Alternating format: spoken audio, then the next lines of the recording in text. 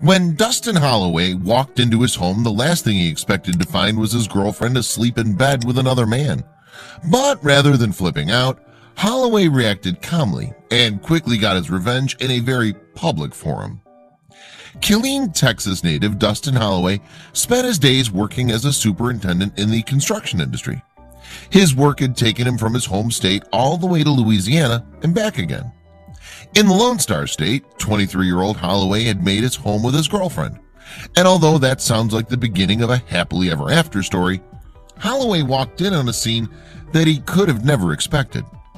One night, Holloway found his girlfriend fast asleep in bed, and snuggled up next to her was another man. Many people would agree that an incensed reaction from Holloway would be valid here. Instead, Holloway said on Facebook that he had gone through a series of different options.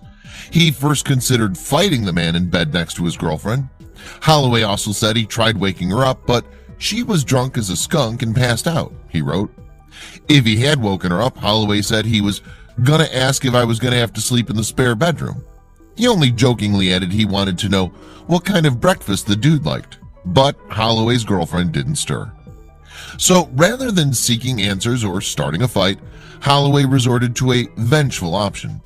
The construction supervisor whipped out his phone and began taking photos of the apparently loved up pair, with his face in the picture too. Then Holloway posted the string of telling selfies online. According to The Sun, he came up with a spicy caption for the post. He wrote, When you come home to another man in your bed with the one you loved. Holloway concluded his post by declaring, Good men deserve good women. And with that, he shared his sentiments and the photos to Facebook, where they were seen, shared, and commented on by thousands. Most of those who saw the picture praised Holloway for his course of action. One commenter said he acted as the bigger person in the situation. She also wrote, I'm sure one day you'll find someone will think the world of you. Another woman assured Holloway that he wasn't alone. The exact same happened to her, although her instinct didn't ever reaching for her camera. I caught my husband with another woman. I went downstairs to the kitchen and made a cup of tea, she wrote. Of course, not everyone agreed with Holloway's course of action. A third woman chimed in to say, taking pictures and blasting them on the web does not make you a better man. Calmly walking away and just accepting what happened and not seeking revenge makes you a better man.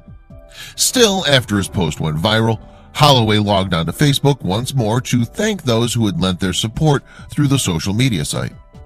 Yesterday, I thought my world fell apart. I was heartbroken to ever witness anything like that, he wrote. I had thousands of messages from thousands of people from all over the world congratulating me on being a better man and walking away. I have pride and respect. I'm amazed at the way this turned out, Holloway wrote.